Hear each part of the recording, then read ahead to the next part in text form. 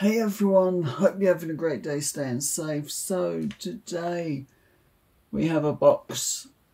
This is the box that I was given the items in. So I had to open this at Christmas after unwrapping it and then I had to open this which was extremely taped up. So I had a lot of fun opening this. So, first off, there are six Power Ranger figures inside this box. And let's give a small peek when I turn it upside down. So, there's what's inside. Sparkles Rangers. So let's get to, straight to that and have a look at what's in this box because I've waited long enough to have a look at these properly.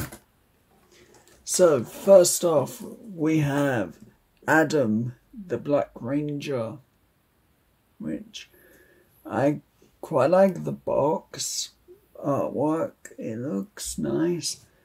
And I'm gonna pretty much have it posted up like this as you can see by my display.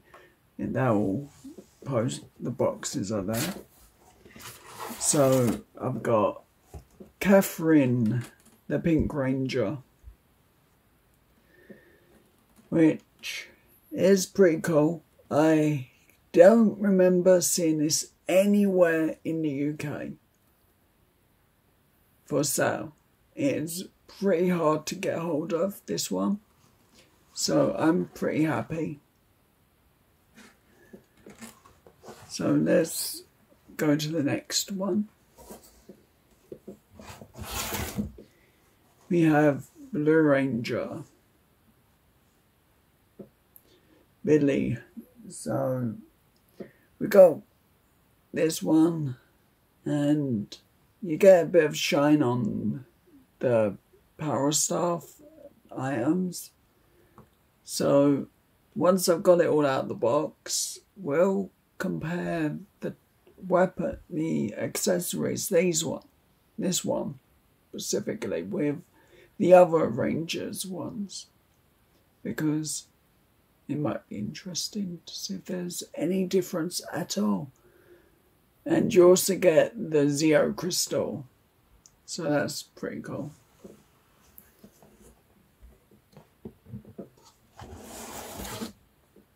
And here's the Yellow Ranger. And these are all metallic Rangers, even though the colouring doesn't look right at all. But I'm happy to have this in my set because I like all things Power Rangers and specifically Mighty Morphin. And I like to see where Hasbro has made a mistake as well. And we have Rocky the Red Ranger which I'm hoping they eventually bring out a Rocky that's normal. So that'll be a good one to have. And I'm just super happy to have got that. And of course, you can't have a full set without the White Ranger. And yes, we did pay retail price for this one.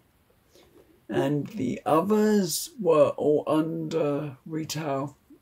They got well got cheap. But this one was full price off Hasbro's website, which comes up every so often saying sold out and then it's back in stock again. So I'm going to compare this one with the, the regular White Ranger So I won't be taking this out of the box just yet. But for now, I'm going to go.